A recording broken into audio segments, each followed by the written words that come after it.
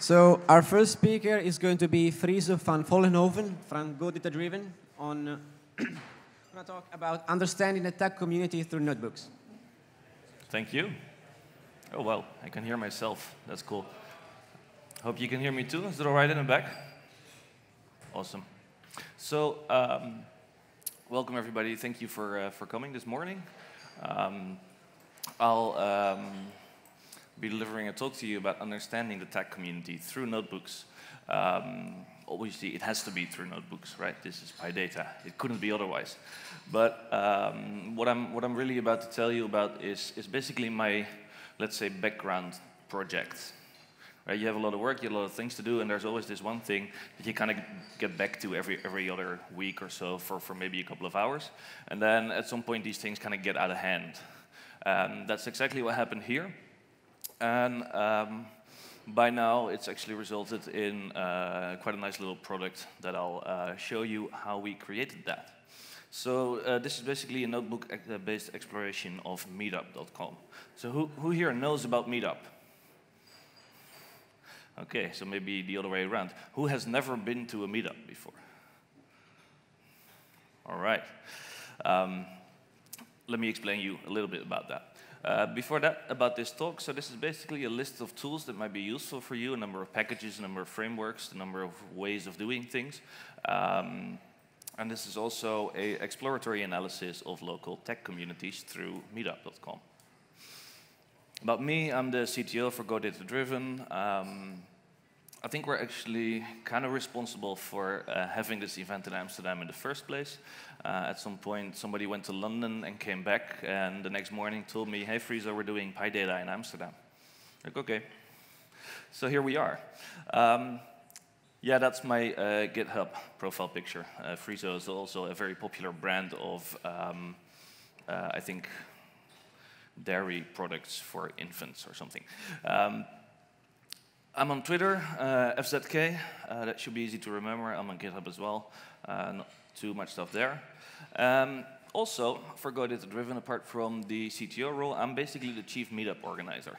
So here in Amsterdam, I organize the uh, Hadoop user group. Um, I organize a, uh, or co-organize uh, um, a meetup on applied machine learning together with somebody who is in the academic world.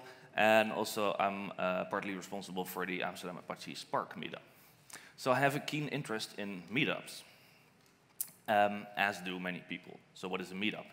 Basically, according to uh, the good people of Meetup themselves, it is the world's largest network of local groups, uh, making it easy to organize local events uh, where people get together and the mission there is to basically to revitalize the local community and help people around the world self-organize. So that means like people, you know, people get together and uh, through through an online meeting platform where they make arrangements for meeting in, in the offline real world and do things like you know build houses or clean up the neighborhood or go knitting in the park and lots of yoga, I suppose, as well. Uh, so, so that's, that's really what Meetup is about, you know, getting together in the real world. So if you um, look at Meetup, um, in general, it's, it's an event-based social network. It focuses on uh, events which are organized by, by groups. So uh, every meetup event belongs to a meetup group. And those groups have members, and the groups are discussing particular topics that they uh, inherently care about like yoga um, or self-help or I don't know, um, Apache Spark, right? So uh, that's the idea. Um, but there's a couple of things that we kind of also use meetup.com for. Um, and I think primarily uh, my prior about this audience would be that you are pretty much familiar with the tech meetup uh, specialization in there. So that's, that's kind of single evening mini conferences, and you get usually free access, and um, also like pizza and beer for free have kind of become a commodity in tech centers uh, because you can just go anywhere every, every evening of the week. Uh, so for us, meetups actually look a lot like this, right? After work, we go in dark rooms and we have lots of pizza and perhaps a couple of beers, and um, we, we talk about work again, um, which is uh, interesting enough. And the funny thing is actually that's what we use Meetup for the most. Because if you look at the number of groups there are for each particular category that Meetup uh, has, then you see these two spikes uh, in that distribution. So the one on the left, the red one, is uh, the category of business meetups. And the really big one on the right there is the category of tech or technology meetups. So that means if you look, if you run into somebody who knows about meetups, then knowing nothing else, uh, the likelihood of them being in tech meetups is by far the greatest. Um, there, there, there's 36, I think, or so categories, um, but in the end, in reality, the majority of meetup activity is just tech. I think that's good for us, if nothing else. Um, probably keeps the platform running as well.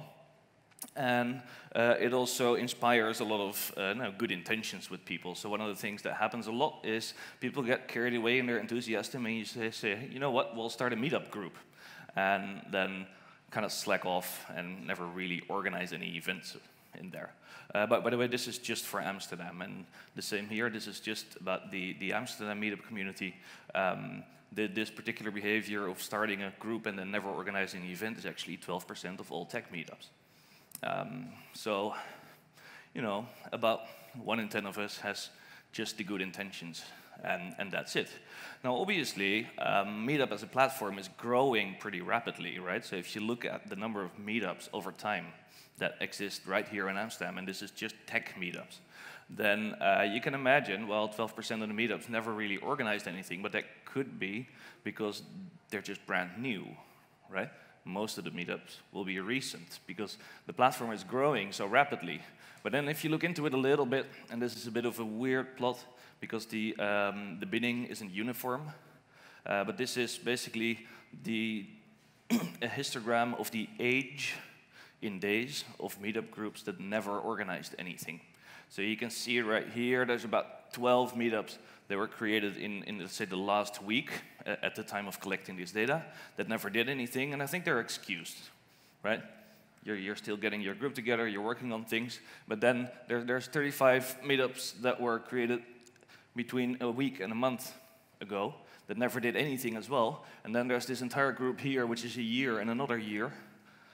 So those are groups that are well over a year old and never really did anything. But it turns out there's other uses as well. So um, many, many people in, uh, let's say, the evangelism business have learned that Meetup has a quite nicely working recommender system that will send you emails uh, of about anything you put in there, as long as you check the right topics that are supposedly interesting to your meetup. And this is 2.5% of all tech meetups being just an announcement for something else and not actually being an event right there on Meetup. So maybe they should work on that a little bit. So that's nice. A couple of things we learned about meetups. So the question now is, how do we know all of this, right? Well, um, obviously I didn't go onto meetup.com and click around through the site, um, copy pasting all of this stuff into Excel. So um, Meetup has an API that you can quite liberally use to grab uh, a substantial amount of data from them. It's there on the, um, on the website. It's very well documented. It gives you a complete view of everything that happens on the platform, as long as you're a member yourself. And also, it's um, reasonably generous when it comes to rate limiting. Um, and it does a proper implementation of REST. um, this is an example request. Here we're, we're basically getting um, everything in category 34, which is tech.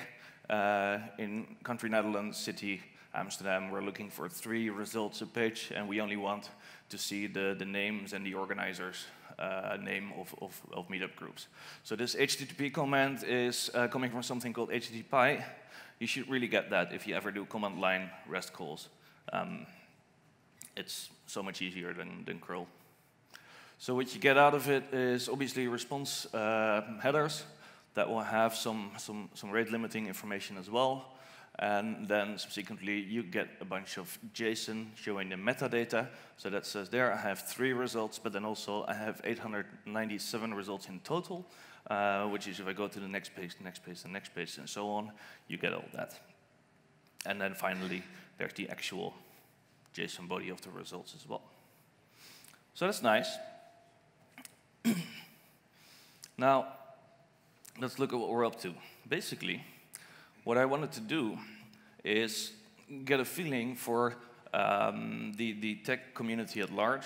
And I figured it probably is a good idea to start with the uh, more interesting technology centers that are out there in terms of software engineering. Um, so, me being from Amsterdam, I put that first. I think that's a natural tendency for people from Amsterdam. Um, and then I figured Berlin, London, New York, Chicago, and San Francisco should be nice as well. Actually, I didn't do Chicago initially, but I did at some point I wanted more English language content to, to train particular models. Hmm. So we look for all of the groups within a 100 mile radius of these cities, and then uh, Meetup will basically give a whole lot of stuff. Um, so I scheduled uh, a little scraper that I wrote in Python to, uh, um, to go through the API and get all the information on the groups, the events, the members, the RSVPs, so the people that actually uh, express that they're coming to an event. The longest of these jobs takes about 19 hours to run, which is for San Francisco, understandably. Um, and I scheduled this uh, with Jenkins. Does anybody not know what Jenkins is? All right, so Jenkins is technically a, a build server. However, um, you can nicely abuse it as a scheduler because it will run your jobs on a schedule and then also capture the output and it can send you emails if things fail. So this is my Jenkins instance and you can see here that there's a lot of jobs starting with Meetup Downloader. Um, so those will nicely, uh, on, on, particular days of the week, do a full run of this job that grabs all the data for a particular city.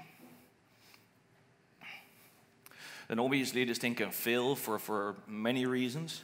Um, although rate limiting hasn't been one of them yet, because it turns out the Meetup API is so slow that if you don't hit it uh, with any parallelism, uh, you never hit the rate limiting. Um, this is probably also why the San Francisco job takes 19 hours, because the data set that comes out of it is on the order of four and a half gigabytes. So that shouldn't take 19 hours. But hey, other things happen. You get broken connections every now and then. You get a you get a server error and these kind of things.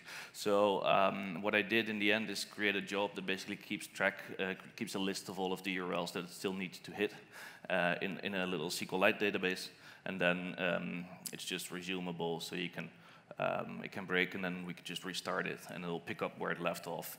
Uh, and then also the, the JSON blobs that it gets out of it will go into SQLite as well in uh, just a little local database. Um, probably I could have done this with Scrapy as well, um, but I, I, had already started on doing a little resting myself, so finished that. So that basically gives me a SQLite database with all the downloaded JSON blobs for all of these meetup activity in these big cities or these, these tech cities. Um, which is nice because it's a full data set, but obviously it isn't very convenient for many purposes because, well, I have um, JSON blobs in a database without indexes or anything else. So when I, when I was thinking about the domain of the problem, um, obviously, it, initially it always makes sense to just think, okay, I'll do this in MySQL or Postgres or something like that, because I can query nicely with, with SQL. But if you, if you really think about the meetups, um, it, it, it is inherently network structured. Um, so instead of doing a relational database, I um, used a graph database to store this data, which actually gives you a lot of interesting opportunities. So the graph database that I use is Neo4j. It's uh, there's a community uh, edition which is open source, and there's an enterprise edition which can do additional things. Um, but in the end, uh, it will store a graph and provide you with a nice uh, API and also query language for it. So Neo4j stores uh, what we call property graph, so that means on the vertices and on the edges of the graph you can store properties as well. Um, and then you can also use those properties when querying, which is, um, which is very nice. There's excellent Python support through uh, a package called py2neo, and there is a um, query language which is called Cypher, um, which basically is like uh, using ASCII art to, to describe what you want. So um, you, you, can do things like give me uh, me, which is a member uh, by the name uh, like that. So that's basically an index lookup. And then, well, just return that. Um, that should give me something, but not me.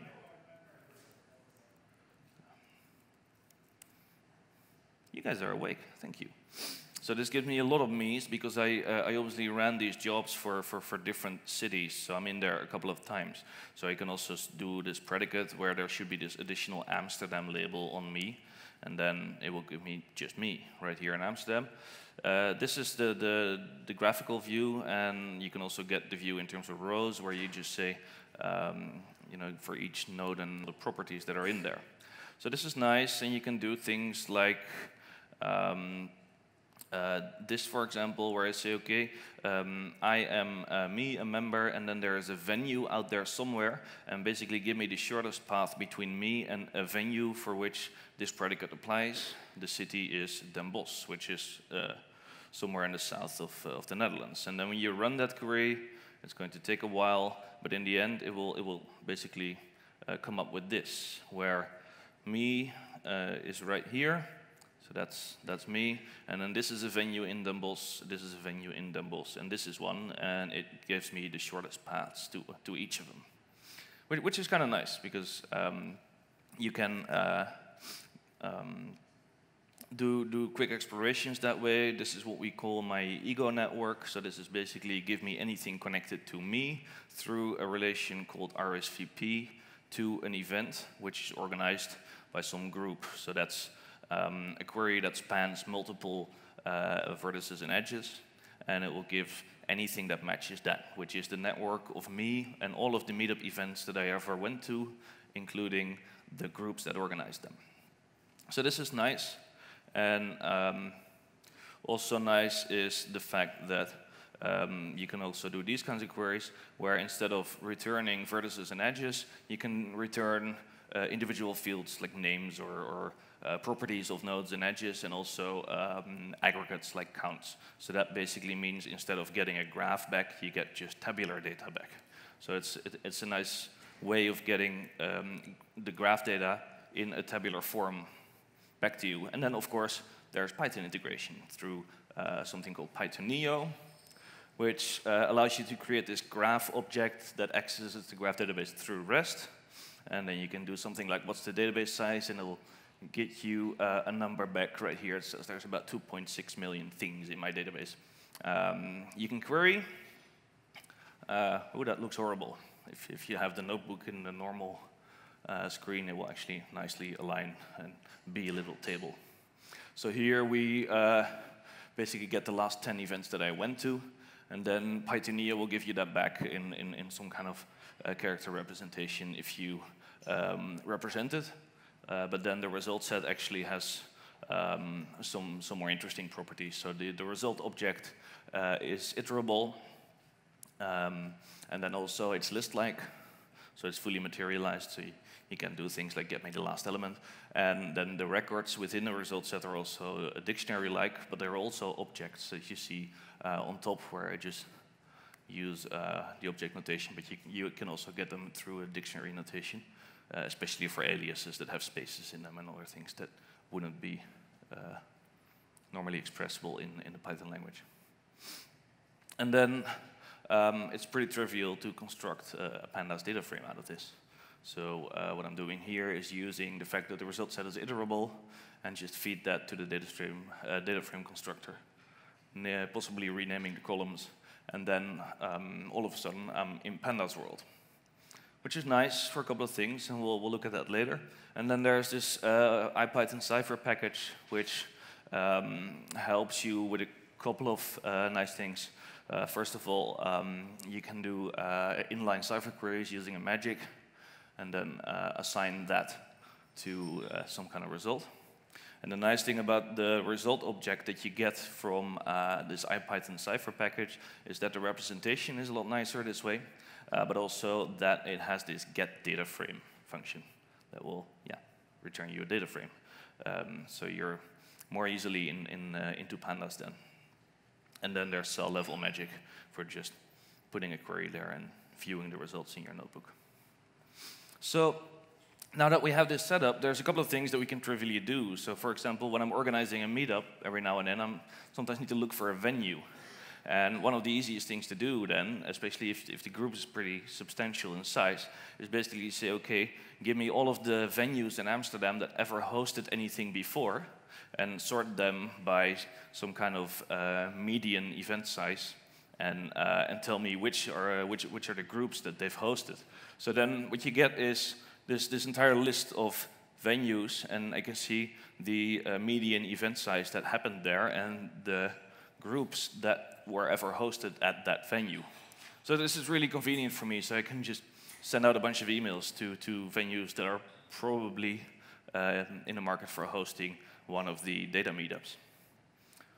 So that's nice. Um, really convenient, so you can do things like this, where you basically say, okay, uh, I run a query that will give me the, um, the size of each of the meetup groups, and then uh, I put that in a data frame, and then subsequently I just do a histogram like this, and it will tell me most of the meetup groups are pretty small. And then there's a couple of larger ones. Uh, and there, there's a lot of like these power distributions in there, which are to be expected. So one other thing that I um, I think is interesting to look at is the um, the overlap between different meetup groups. That basically tells you something about how alike are these two audiences. Um, when there's overlap, um, it's really hard to not think about Venn diagrams, and luckily there's a package that creates Venn diagrams in Matplotlib. Um, it's really nice, you can do a Venn diagram out of two or three sets, and you just feed it a number of sets. So uh, we define this little function here that does a Cypher query, uh, gets the member sets for a couple of uh, meetup groups, and then feeds that to this Venn diagram function, and it can do this.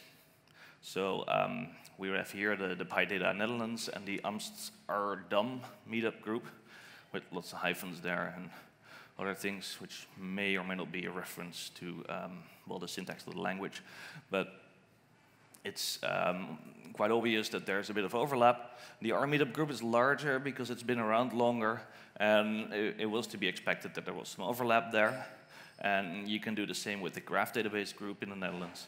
And then you get this, this nice diagram of the different um, number of uh, co-occurrences in those member sets. And then um, we can do something like this, where you see that there's, uh, you know, the R and the, uh, the graph database and the PyData groups have, have a bunch of overlap, and the graph database and this uh, CocoaHeads, which is a mobile app development group, also has some overlap, but PyData doesn't have overlap with CocoaHeads. So, so that might imply that there's like two different communities out there that do have some form of common interest, but not entirely, or not enough to, to be a community. And then obviously there's also completely disjoint things, which is kind of disturbing because, you know, out of the, the data community right here in the Netherlands, absolutely zero are part of the uh, elite group of tomorrow's IT leaders. So obviously, I, I, immediately try to fix this by signing up for tomorrow's IT leaders meetup group, but it turns out they have to let you in. So um, it's, it's a work in progress. I'll keep you posted. But this does quite clearly imply, co combined with, with these kind of things, that there are quite likely um, communities within these network, uh, within these networks. So that, um, that leads us to, to the next topic where uh, we, we start taking a, a, bit of a closer look at the network. Um, what I've used for that is a package called igraph. igraph is available in Python and in R. It's a C library and has bindings in, uh, in both. Um, it's not entirely ready for Python 3 yet, but there are some trivial fixes that you can do. Um, and I got the, the PR accepted, so it's probably in, in, in an upcoming release, it will all be fixed. Um, otherwise, if you install it right now through pip in Python 3, the plotting is broken. But then again, most of you use Python 2.7 anyway, right?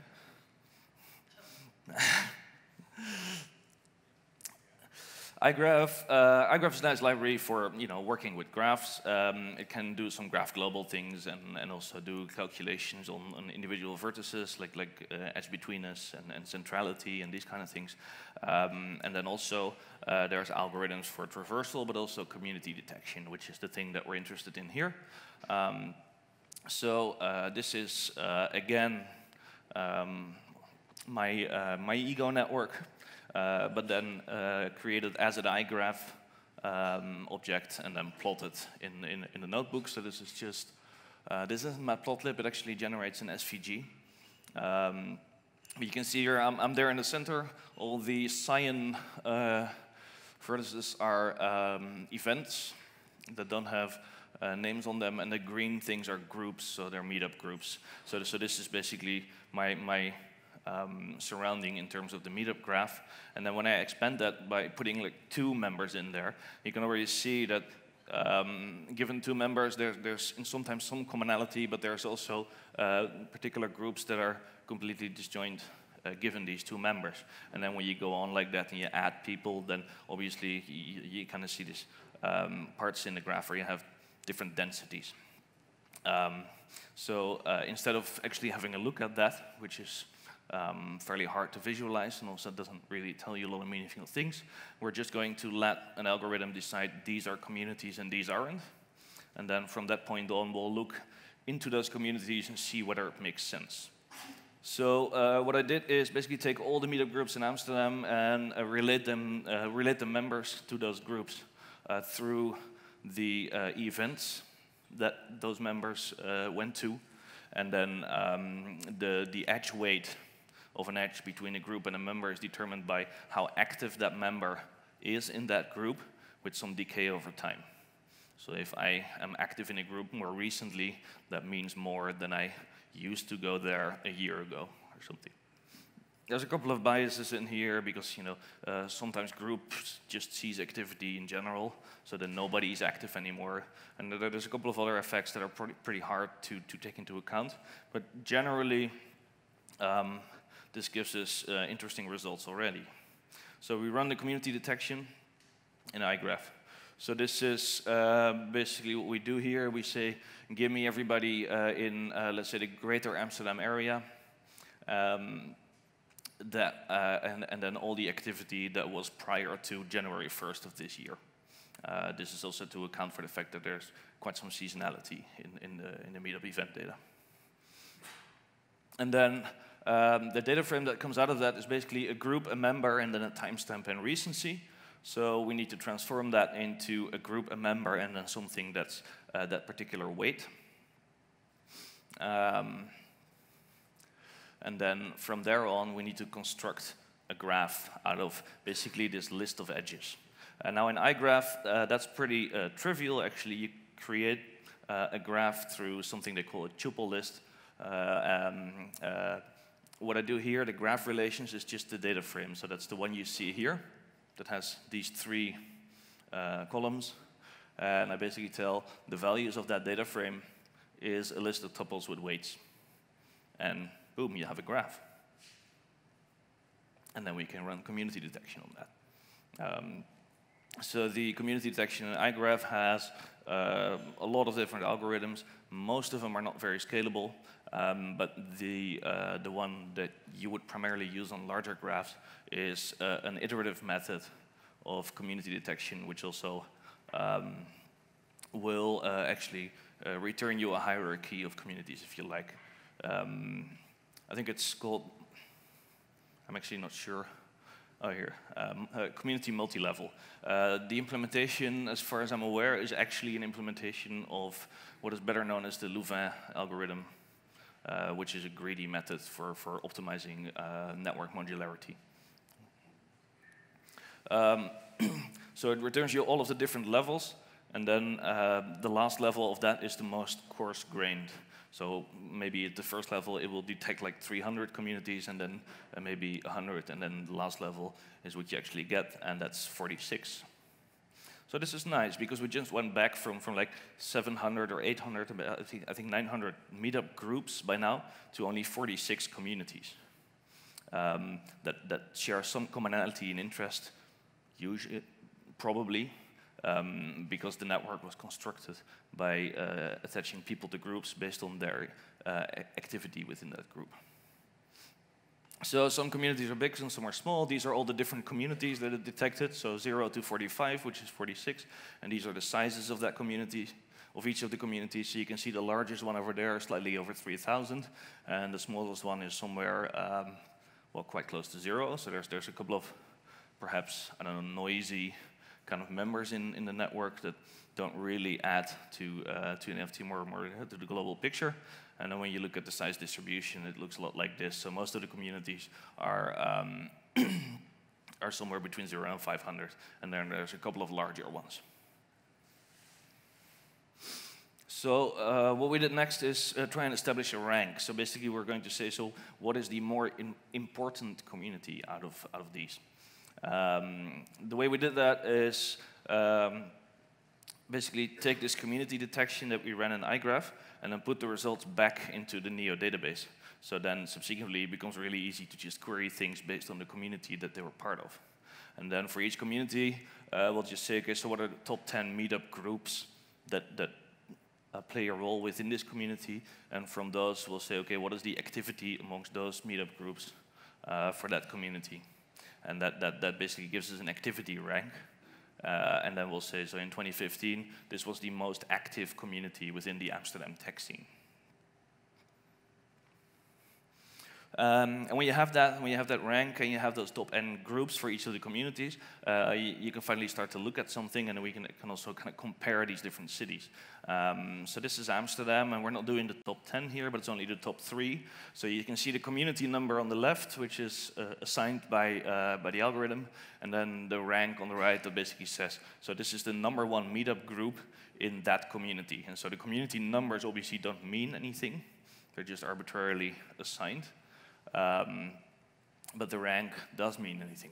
And what you can already see here is that there, there is, you know, on the surface of it, some commonality between the groups that go in a community. So you can see that in Amsterdam, this whole startup and innovation thing is really big. And then secondly, there's like the DevOps crowd. And then on the third place, alas, there's the uh, big data and data science. Um, and then, you know, moving on, front end, uh, general web development uh, Internet of Things and, and um, smart, smart cities and these kind of things. And then here is PHP and other general uh, development.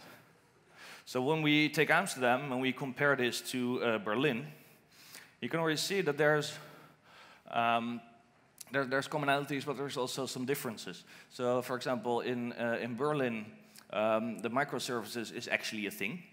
Um, and then uh, second, uh, second community there is pretty much the big data, data science. So perhaps in that sense, they're ahead of us.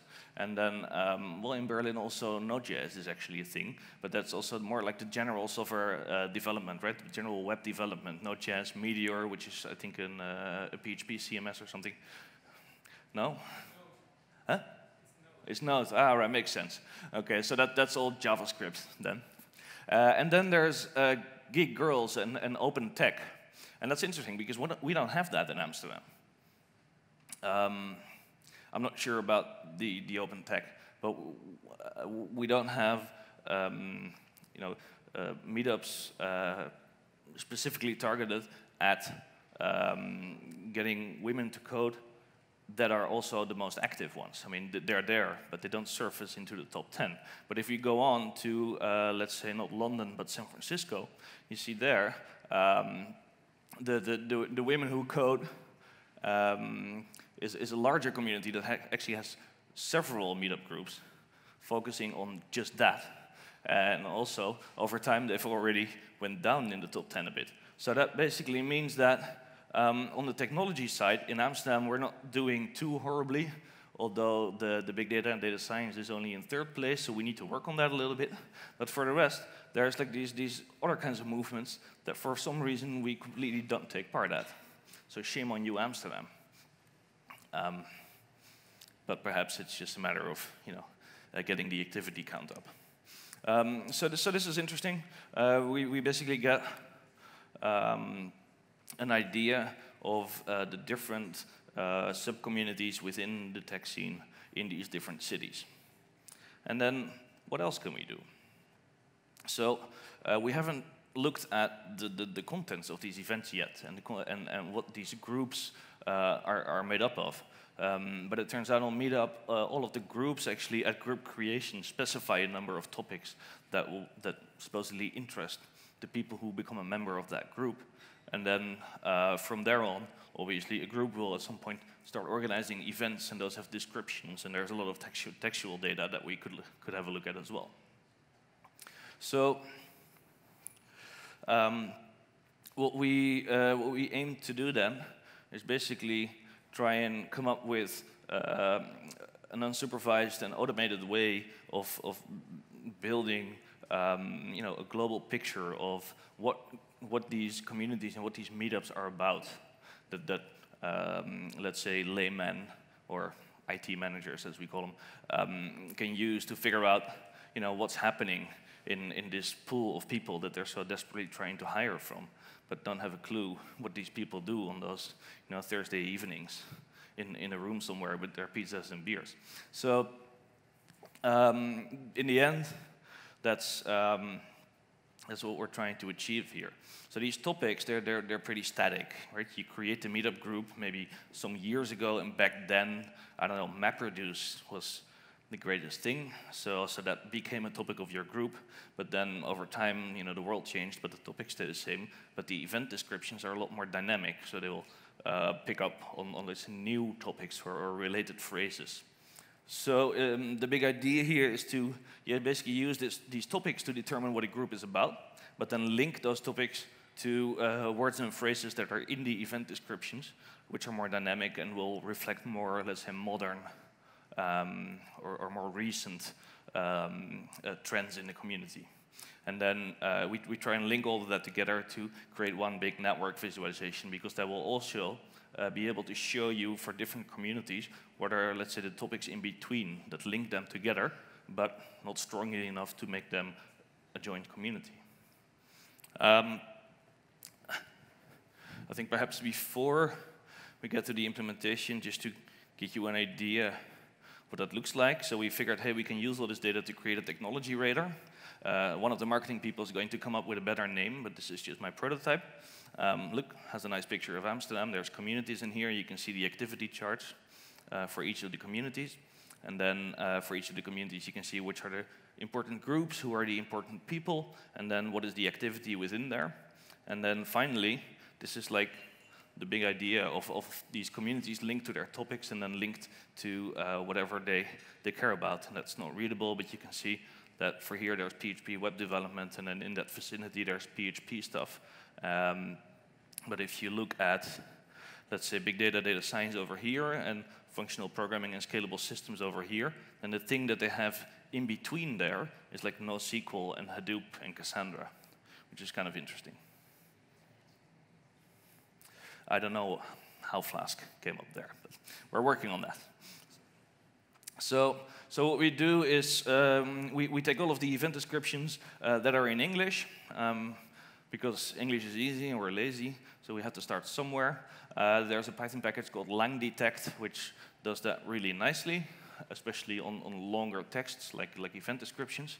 Um, it's extremely slow, so uh, it's, it's, written in pure Python, and um, uh, and, and, it works on, on character trigram distributions. So it has to do all of the, the, the classifications uh, based on that. So, so we trivially parallelize that on a local machine using Apache Spark. Um, uh, then we strip HTML using Beautiful Soup. I, I think most of you will have heard of that. And then um, uh, we run uh, Gensim's excellent implementation of word2vec on that, which I think right now is kind of the, the state-of-the-art in easily accessible um, uh, text representation. Um, local parallelism uh, with Spark, a little bit of a sidestep. You can, you can run Apache Spark on your local machine, but just firing PySpark, and then where it says local, and then between the, the, the brackets it says 8, that means it, it will take 8 cores. And that's it. So uh, that will give you a local um, a runner of Spark using eight cores. And then what we do uh, in Spark is basically say, okay, I'm going to create a parallelized uh, data set out of all of the group IDs that I have in the database. So that's a local operation, and, I, and then I push that into a parallel data structure. And then from there on, I'm going to say, okay, so now I can do, uh, uh, uh, let's say, a pseudo-distributed operation. So it's going to be distributed across those eight cores, where I say, okay, so each of these um, Spark processes is going to take a part of the data and actually fetch those groups from the database. So this will create parallelism against the database, which of course it has to be able to handle. Um, but then if in the end the goal is to parallelize this, this one uh, very slow pure Python package, uh, this works very nicely. You do have to realize that, that um, especially from Python, Spark has quite a lot of overhead. So, so for, for, for general like IO bound kind of things, it's probably better to just stick with local. But uh, in these particular situations, this works uh, quite nicely. And then um, on, on, the resulting event descriptions, um, we, we, actually don't do a lot of pre-processing at this point, so some, I'm still working a bit on the, on the text stuff, um, doing a bit of pre-processing, doing, um, trying to, to actually clean up uh, a couple of the nasty things like hashtags and, and, URLs and these kind of things. But right now, we actually don't do any of that.